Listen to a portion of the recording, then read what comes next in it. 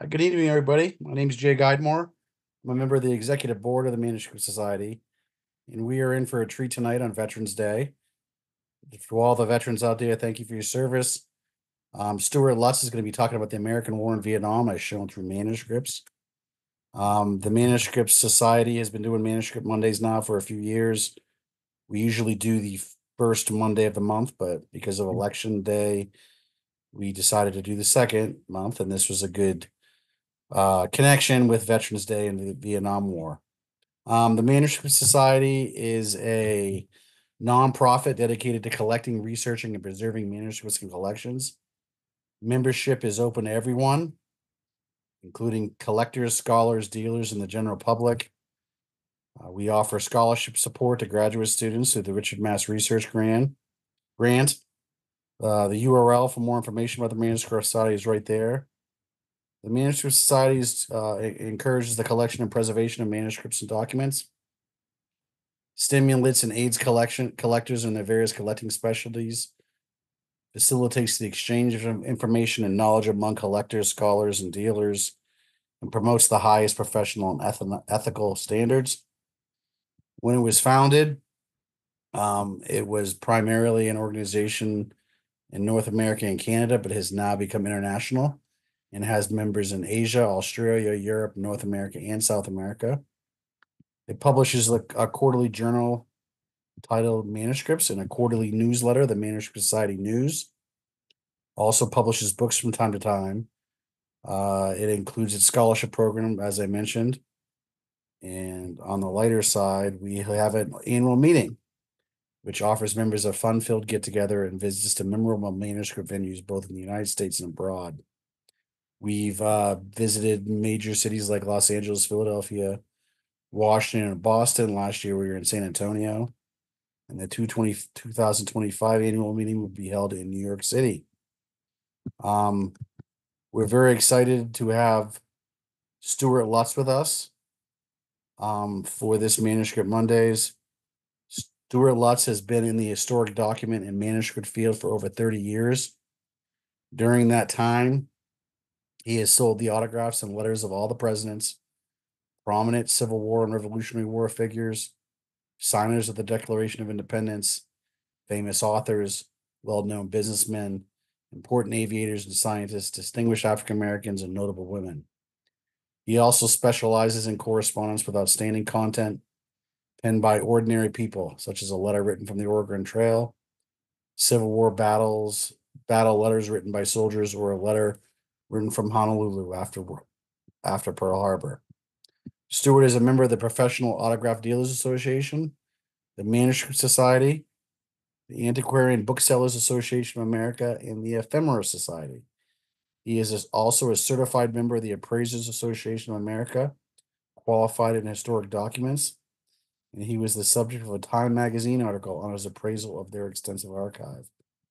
So without further ado, we welcome Stuart Lutz here tonight, and he will be discussing his uh, material culture of the Vietnam War and his collecting in that area. Thank you, Stuart, for being here with us. Thank you, Jay and Lee. I appreciate it. And uh, I hope everybody had a uh, good Veterans Day. I hope if there are any veterans out there, you had a meaningful Veterans Day. Uh, so, anyway, I'm going to go through about 15 manuscripts from my collection and talk about how they illustrate the era of the Vietnam War. Uh, here on this slide, you can see that I did the uh, text in color because it's certainly a colorful era. Uh, just a little bit about me. I'm in New Jersey. I've been collecting artifacts from the American War in Vietnam for about 20 years now. Everything I'm going to show you is from my archive, and it was quite a challenge to uh, boil everything down to just 15 items. Uh, I believe that the Vietnam War was the most important and influential event in American history from 1950 to 2000. Uh, there are ongoing political, military, and diplomatic issues uh, that still go on today. There are many historical lessons to be learned from the conflict. And one of the interesting parts is it was kind of the ugly war. So it's hard for me. One of the challenges is rescuing materials before they're tossed out. even last month, uh, the son of a prominent uh, author about the Vietnam War and veteran told me either his archive is going in the trash or you can have it. And he came up and gave me seven tubs of his father's archive. So that again is part of the challenge. So anytime I talk about it, I always remember these are the 20 American servicemen who were killed in Southeast Asia on the day I was born in 1970. I do this so they are not forgotten. So the first manuscript I want to talk about here is in 1946, Ho Chi Minh wrote to an American officer offering to greet him and allow him to meet the former emperor of Vietnam, Bao Dai.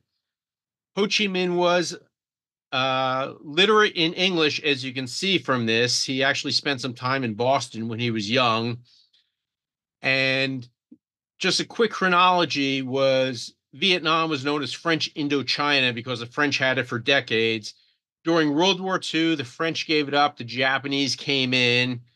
When World War II ended in 1945, Japanese went out, the French came back in. So this letter is from early 1946, in which Ho Chi Minh is trying to curry some favor with an American military officer in the hopes that they can get the French out for once and for all from uh, Vietnam. If there ever was a time that the war could have been averted, it was probably here. Uh, American powers at its height the French country was devastated by World War II, and the Americans probably could have told the French, you know what, you guys are done with Southeast Asia. But they did not do that, probably in part because Ho Chi Minh was communist and the Cold War was on.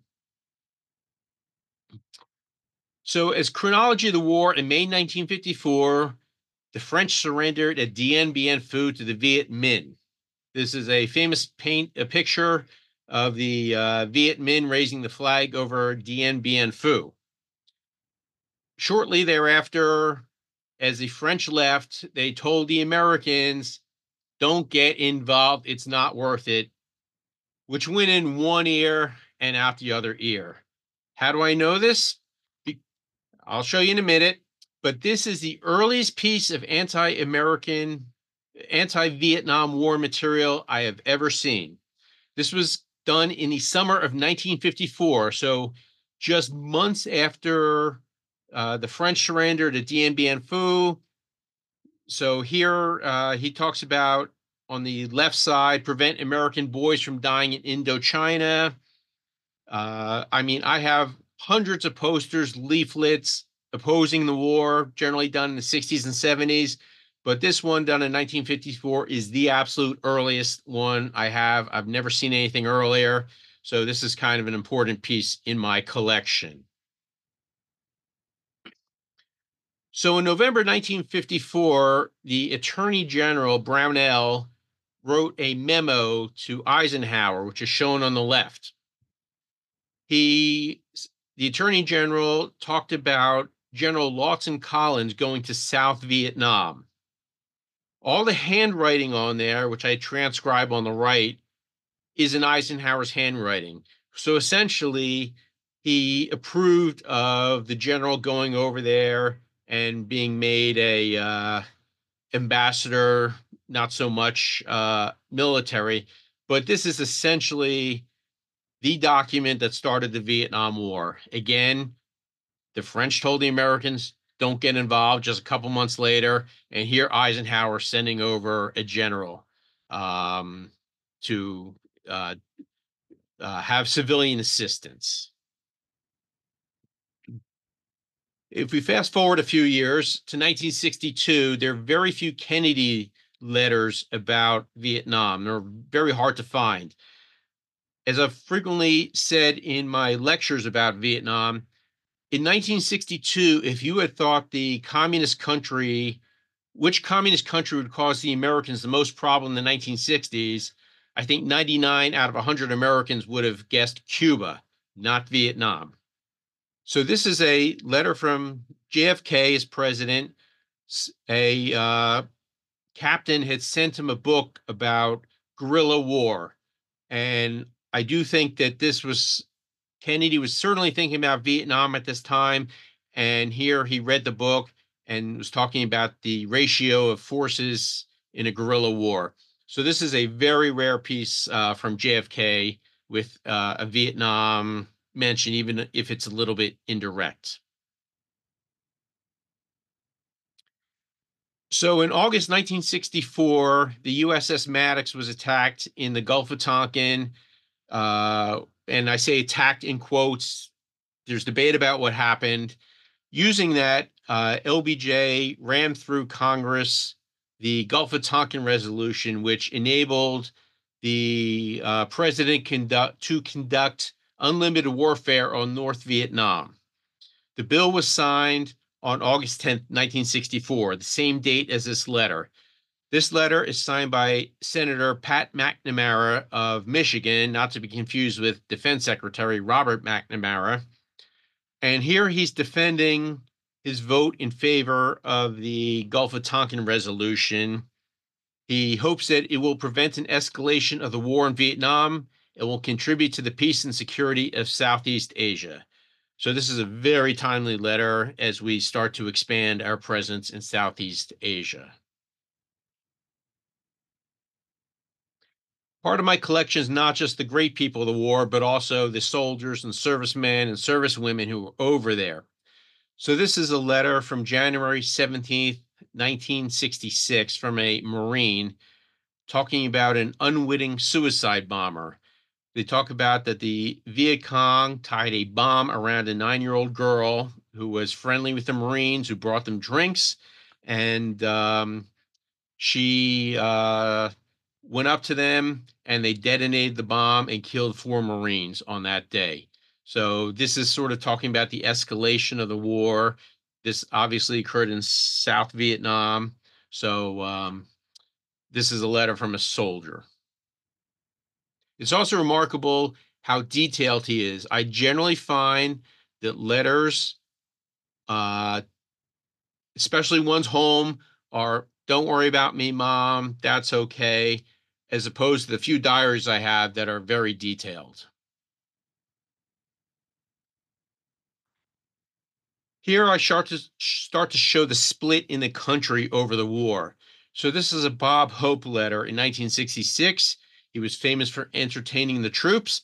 So this 1966 letter, he went over there and um, he said that his 1964 trip was rewarding, but the one in 1966 was even better. Now, what's interesting is he starts to take a pro war stance, and that people here in the States know what our boys are doing. And they certainly can't make us forget the draft card burners and the anti Vietnam marchers. So he sort of takes a pot shot at the uh, anti war movement that's starting to build in the country.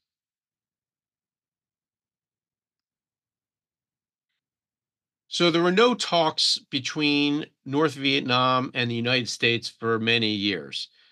The impetus for talks was in January 1968 was the Tet Offensive, which um, was a devastating loss to the Vietnam, the North Vietnamese, but it was a uh, loss of prestige for the Americans who've been the American military been saying light at the end of the tunnel, and everything else. So in May 1968, the parties, the Americans, the South Vietnamese, and the North Vietnamese decided to meet in Paris and have some peace talks. So the main American negotiator was Philip Habib. This is his admission card to the Paris peace talks. I bought a whole lot of his papers from his family including appointments by LBJ and such. What's kind of interesting about this is the number on it, number 0003. I would suspect that the North Vietnamese probably had number one, the South Vietnamese had number two, and Habib here had number three.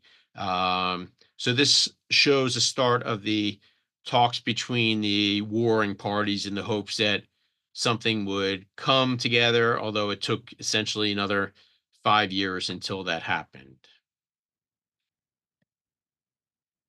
So this is a soldier's carry through the jungle diary from 1968. If you look on the left side, he talks about he got mortared again. And on the right side, they searched a village and they got hit by claymore mines and AK 47 fire from the North Vietnamese. Now, diaries from Viet letters from Vietnam are common. The, people would write home dozens and dozens of letters, generally on paper, but I also have audio tape letters where they're little cassettes that the family can pop into their tape player and listen to their soldier. Diaries are much rarer. A, they were discouraged by the military because uh, they did not want the soldier be killed and then have the diary picked off of them and then maybe some military intelligence in there. Uh, also, it was very wet and rainy in Vietnam, so it was not really conducive for carrying a diary. In all my years of collecting, I have three diaries. Uh, not only did I purchase this diary, but I also got the man's Purple Heart. He was also awarded the Silver Star. However, when I bought the collection, the Silver Star was missing, unfortunately. Again, this shows the way that the average American serviceman was dealing um, with Vietnam. 1968 was the height of the war. We had 550,000 troops there, and about 16,000 Americans were killed during that calendar year. This is a draft card for uh, a man named Mark Mock in 1969. Surprisingly, these are kind of difficult to find on the in the marketplace because a lot of people who served in Vietnam are still alive, and they pretty much all kept them. Um, so these are kind of difficult to find but I just wanted to show this to show that this is a manuscript about somebody getting called up to uh, serve in the army during Vietnam. One thing that's unusual about the war, most people don't realize, is the majority of servicemen in Southeast Asia were not drafted, they enlisted. And this surprises people. The reason for that is if you knew you were going to get drafted, you were also able to enlist to avoid that. So, for example, the young lady who works for me, her dad enlisted in the Navy because he'd rather be on a ship offshore than walking through rice paddies and getting hit by mines. My auto mechanic loved to fly. He saw the writing on the wall, so he enlisted in the Air Force. So the majority of American servicemen over there actually volunteered and enlisted to go there. They were not drafted. This is a really rare piece. So POW Richard Brenneman was a aviator. He was shot down, I believe, in 1967 and thrown into the infamous Hanoi Hilton. After Ho Chi Minh died in 1969, the North Vietnamese decided to lighten up slightly on the treatment of the POWs. So for Christmas 1969, these soldiers were allowed to write home one letter to their families. This is his one and only communication that he had with his family from 1967 until he was released in early 1973. There's no stamp on it. The reason for that is the Red Cross came to North Vietnam, collected all of them, and then distributed them across the United States. I've never seen another letter from somebody who was a POW in the Hanoi Hilton. So if I had to pick one of the most emotional pieces in my collection, it's this. It's you know, it's a size of a postcard, but it just says so much and his hopes that eventually he's going to get home. It's Christmas. He still has another two and a half years until he gets out of there. Um, actually, three and a half years until he gets out of there. So this is really one of the most illustrative and emotional pieces in my collection. So this is a letter from William Calley while he was on trial for the My Lai massacre. Uh, it was not widely reported at first, but Lieutenant Calley died earlier this year. Um, he was convicted of the his participation in the My Lai massacre, which killed somewhere on the order of four to five hundred women and children in uh, Vietnam.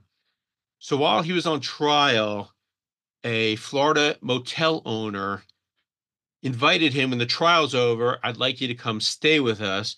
So this is his response, and he says that he hopes someday he'll have the chance to visit. Um, so this was done during a very contentious trial during the war in Fort Benning.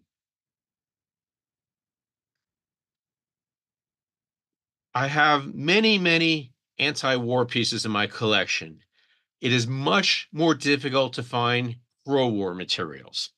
These are two posters for the March for Victory parade in Washington on April 4th, 1970. It was the largest pro-war protest of the entire war. Uh, there were several anti-war protests that were very large in 1969 in Washington. This was the response. So these are two posters advertising um, the war. I'm not sure if they were carried that day or just posters that were put in windows advertising it, but uh, pro-war material is much harder to find. So this is a letter, February 20th, 1973, as the war ended to Henry Cabot Lodge. Now, Henry Cabot Lodge was Nixon's running mate in 1960 when he lost to JFK, and he was later ambassador to South Vietnam.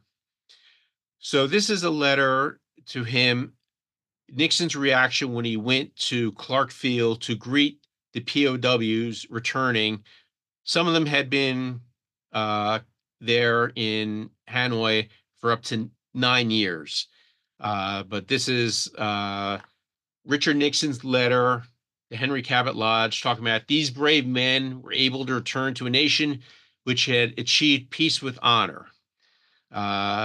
Again, one of the very nebulous things about the Vietnam War and the history is a question of did we win? And here Nixon does not say that we had won, but we had achieved peace with honor.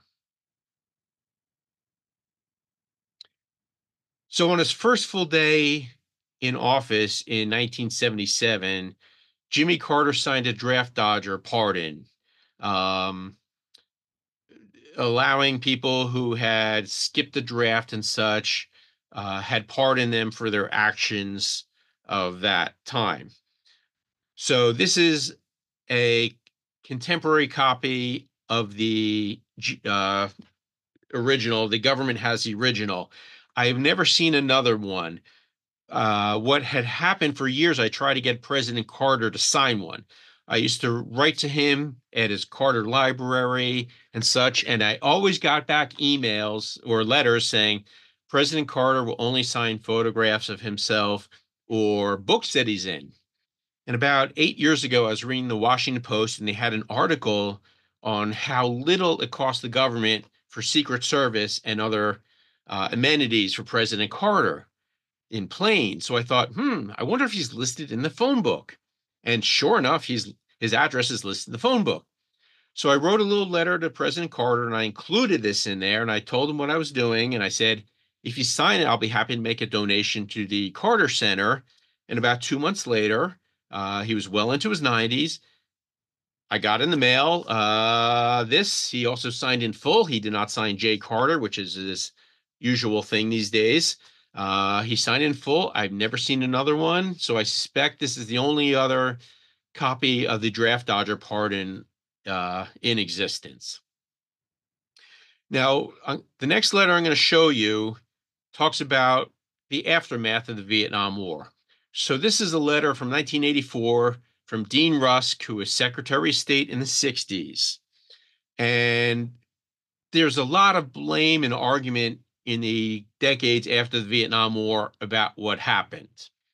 So here's a letter from Dean Rusk when he was in Georgia stating that he thought it was the anti war protesters uh, who were to blame for the uh, loss in Vietnam. And he said that just hang in there and you can win politically what you cannot win militarily. Now, I have several other letters from the 80s from prominent people, such as General Westmoreland and such, in which they're debating the reasons for the war and the causes of the war and such. Uh, so I just wanted to illustrate that what a hot uh, wire Vietnam remained. Here we are 10 years after the war. I do remember when I was in college, I read a uh, Civil War book. I think it was by Kenneth Stampp, the famous historian, who joked that uh, as belligerent as the Union and Confederate generals were, even more belligerent were the Civil War historians. So this sort of reminds me of how there was just as much fighting about the meaning of the war afterwards. And the last piece I'm going to end with is my dream piece. Uh, this is a piece I would love to find. I cannot imagine that there are a lot of them in existence. Maybe one day some someone will call me with it or it'll turn up. So this is in French.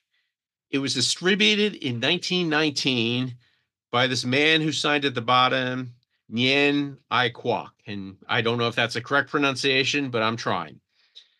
So this man, Nien, went to Paris uh, for the Treaty of Versailles, and he distributed this leaflet, and he was hoping that the Americans would pressure the French to get out of uh, French Indochina. This copy is the one from Secretary of State Lansing, who was Wilson's Secretary of State. Uh, it was shown at a National Archives exhibit maybe about eight years ago at the National Archives in DC, in which they only had materials from the National Archives to illustrate the Vietnam War. So the interesting part about it is the signer at the bottom, Nguyen Quoc, which means Nguyen the Patriot. We don't really know the name now because he later changed his name to Ho Chi Minh. So Ho Chi Minh was at the Treaty of Versailles passing out these leaflets to all the uh, delegates from France and England and the US and all in the hopes that his people could be freed from French domination. So this is the dream piece. I would love to find one because essentially this would sort of be square one of a Vietnam collection. Ho Chi Minh in 1919 realizing it's time for the French to go. So that sort of ends the slideshow. Um, so it was about 15 documents from it. Um, happy to take questions, and uh, that's really about it. So, Thank you, Stuart. That was wonderful. A really amazing collection. Really Thanks. good to see it. Uh, here are some. Here's a, a a couple questions for you to start off with. Um, if you have any questions, you can put them in the chat or put it in the Q and A. But uh, how long have you been collecting in the Vietnam War, and why the Vietnam War?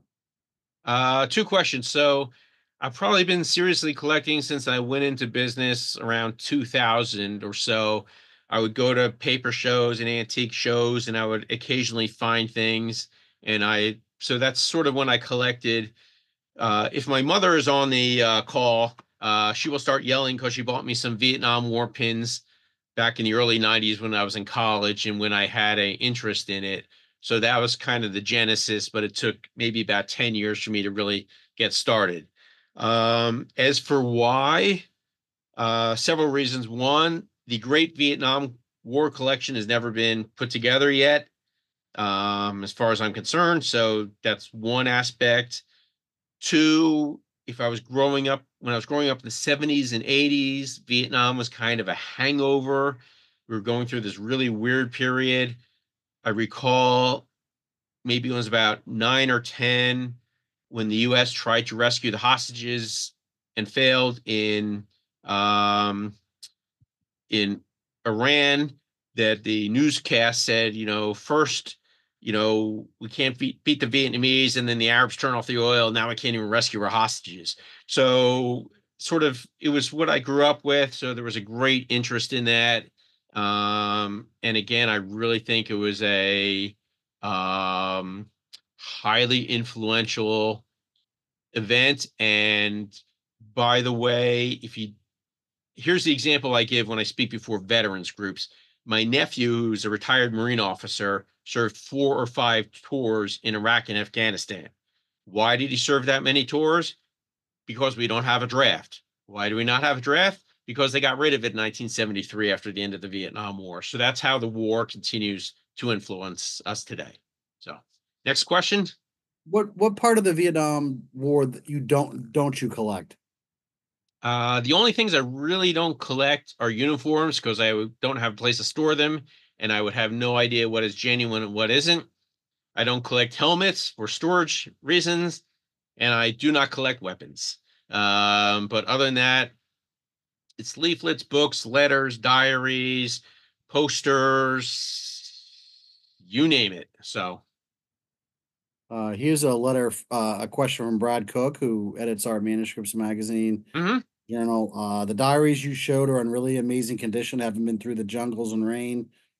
Did you by any chance learn from the owner how he took care of it- them so well?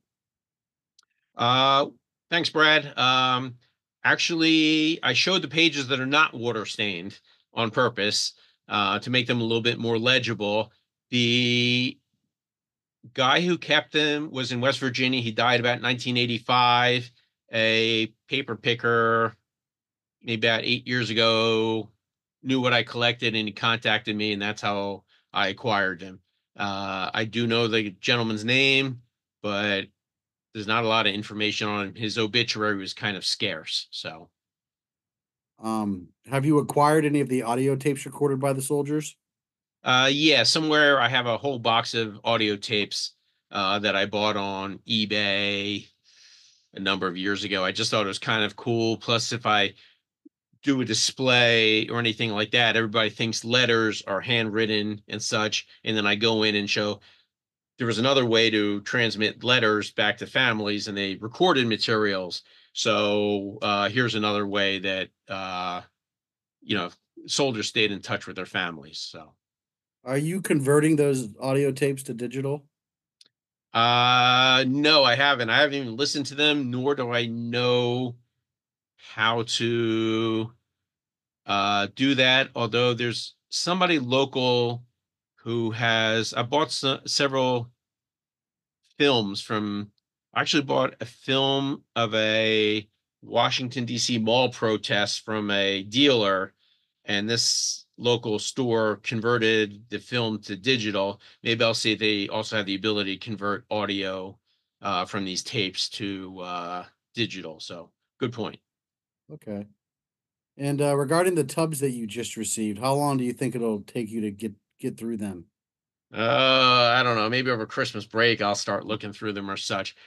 Like in any archive, there's going to be a lot of detritus that may not be that interesting and such. So uh, I'm kind of looking for the good material, the photographs, um, and if there's a book draft in there or any correspondence about his book, I'll certainly keep that. Uh, if I can say one other thing about photographs, um, 90% of the photographs from the Vietnam War are generally taken on base and kind of mundane. Uh, staying on base was nice and safe. Uh, I have lots of photographs of shot up tanks and helicopters missing parts of their tail rotor and that type of stuff. The photographs that are harder to find are the combat photographs, the ones in the field or the street scenes where uh, uh, American soldier went out in Saigon and took photographs, or photographs when the guy was in the helicopter um, and uh, just sticking out the side of the helicopter and taking photographs of the landscape. I will also say I also digitize a lot of the photographs and the amazing colors of Ektachrome and Kodachrome 60 years after they're taken is unsurpassed. They are amazing photographs in terms of their color and the richness of them, far better than most digital photographs of today. So, Uh, let me see here. What other questions do we have? Um, uh, is it true that uh, Ho Chi Minh wrote President Truman in hopes of American support to oust the French? uh, yeah, I believe the National Archives somewhere has a letter uh, from Ho Chi Minh to President Truman, uh, hoping to liberate his country from France. And again, with that Ho Chi Minh letter from 1946, America had the military and economic power to tell France, you know, it, it's time to decolonize, but they did not do that. So, Um, Barton, do you want to say a few words about your service?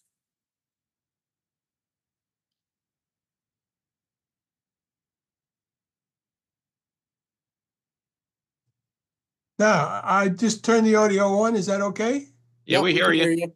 Okay. Uh, I was I was in the medical corps in uh, uh, I've just finished my med- finished my medical training in 1968 and was in the was at in the went in the army um, and was at Fort Benning from 68 to 70 at the, the height of the war obviously.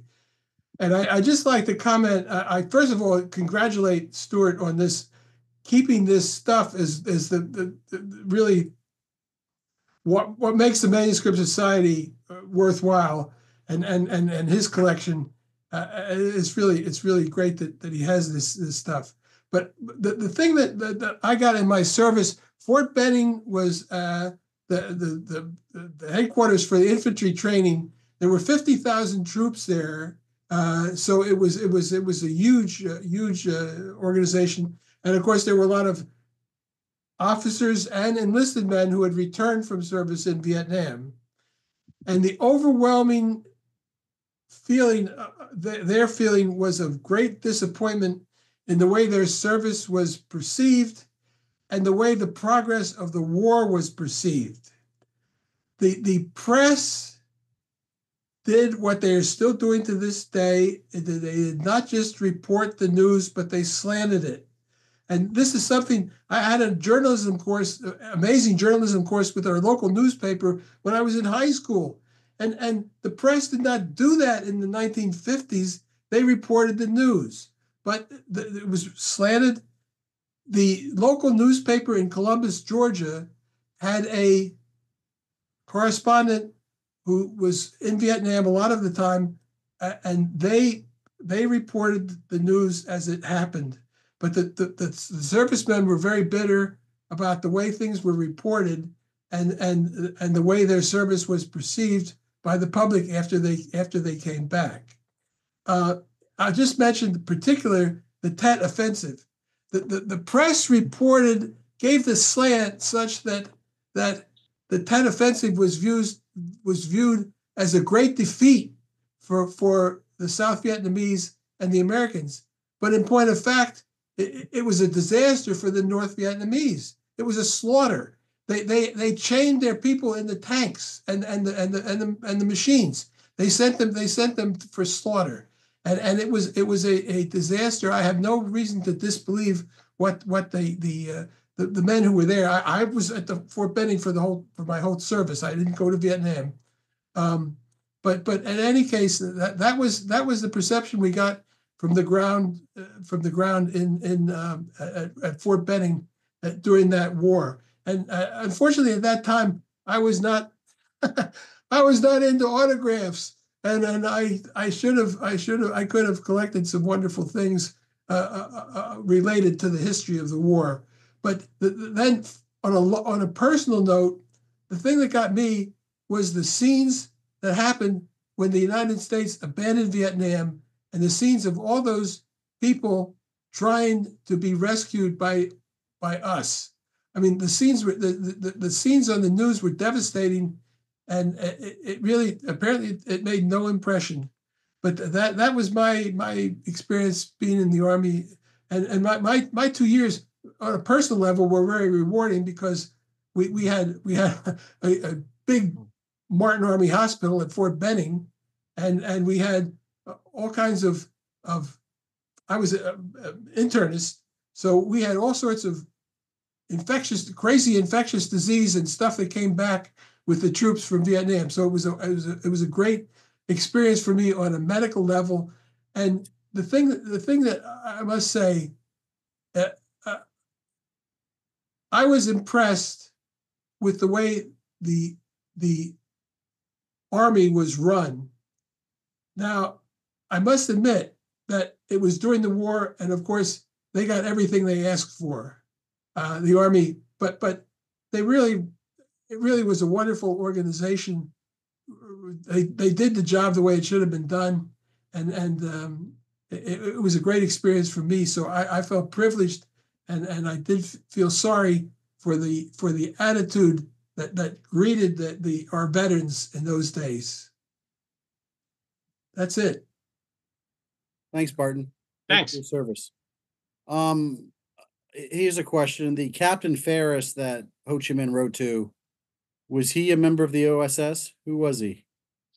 I don't know. I, I need to research that more. Uh, it was a lot of three letters at auction. I could only buy one of them, but I bought what I thought was most interesting with the mention of the Emperor Bao Dai.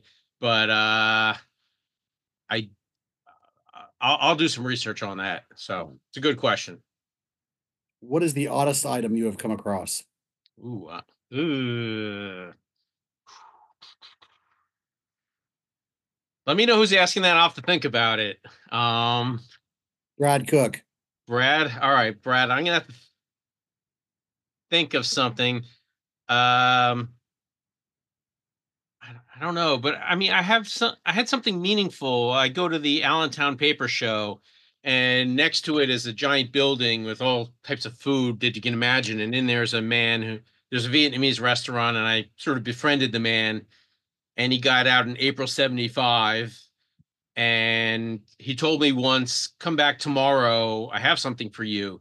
And he brought some Vietnamese currency with him when he left 50 years ago, and he gave me a note. So that sort of touched me that he he gave me something that was that personal for him that is a remembrance of his country. So, but I have to think of the odd one. So, Okay. And uh, where do you find a lot of this material? Um, eBay's pretty good. Um, but a lot of my fellow dealers know I collect this stuff. So they send me heads up or they send me emails. Um, I'll find stuff on abe.com or uh, Biblio. Uh, but again, I've had people give me stuff. There's a woman here in New Jersey whose husband was the Vietnam Veterans Against the War. He was a reverend and he died a couple years ago and she contacted me and I'm still waiting for it, but she's there. I have all this stuff. We don't have kids. You can have it. So um I'm kind of touched with that. So Um, how do you organize the material so you can find it? not well. Uh I have all the best stuff in a few notebooks that are in safes, but it sort of gets tossed on a shelf and every once in a while my son organizes it. Um or I probably need somebody else to come in and start scanning and organizing. I also have a crazy little deal with Getty Images where I license usage rights. And so my material appears in New York Times and CNN and such. So I digitize a lot of the posters and photographs and letters and such, and then they and pins especially. And then so if CNN does something on famous political pins, I'll get something in there that way. So I try to digitize them that way, but it's kind of the sorcerer's apprentice. Much more comes in than I can possibly organize or digitize. So Okay. And uh, have you decided on the eventual disposition of this very important collection?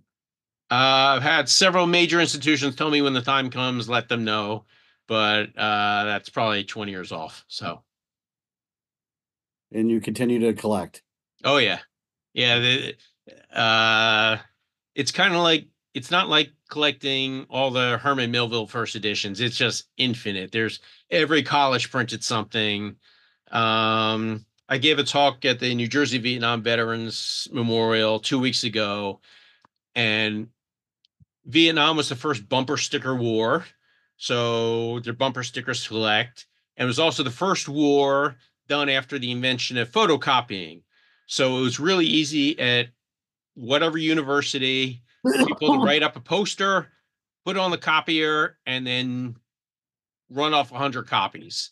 So it was much easier than that technology was not around during World War II or Korea or something. So there's a lot more paper and ephemera on this war. So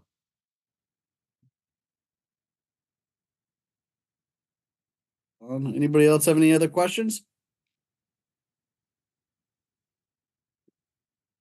Okay, well, thank you very much, Stuart. Appreciate the talk. Oh, here's another question from Bob Harper. Bob Harper. Hopper. Uh, let me see here. What do you say? Have you collected material from foreign service and aid officers who served in the field? Uh, I probably have something. Um, most of the stuff that came back was soldier related, soldier photographs and soldier letters and that type of stuff. Um, again, I bought the Habib collection, who was a diplomat over there. Um, and such. So, uh, probably not enough. I probably, and the other thing I would love to get is more service woman material, the nurses over there and that type of stuff. Uh, I have very, very little of it. So I would like to round out the collection with that. So, Do you make the materials available for researchers? um, yeah, the New York Historical Society did a Vietnam exhibit pre-COVID. So their two curators came over here. Uh, Ken Burns, when he did his Vietnam doctor documentary, I spoke to him on the phone and I lent them a number of photographs from a early American officer there in the early 60s. And they digitized everything. And then Ken's assistant told me it was, quote, too gruesome for public television, which kind of surprised me because when I was watching the Vietnam series, which was like 18 hours, they showed pictures of uh, the Viet Cong had decapitated people and put their heads on spikes. And they showed photographs of Diem and his brother after their November 1963 assassination. So there was plenty of gruesome stuff on television. So I was, I was kind of surprised that uh, Ken uh, rejected my materials. So, but that happens. So, Well, thank you for attending, everybody. And uh, right, the thanks. next- Thank you, Stuart. The next manuscripts Monday is going to be held December second, Monday, December second. We don't have a speaker, but Brian Kathenes will be uh, hosting, and it, it'll be people interested in collecting and selling and all that stuff. People can just join and um, ask questions and just get ready for the holidays. Um, and then in January we have Joel Silver uh, from Indiana University will be here for the Lilly Library. If you have any ideas for future uh, manuscript Mondays, please reach out to me and let me know. But thank you, everybody. I appreciate everybody joining tonight, and uh, thank you very much, Stuart, for your time. thanks again.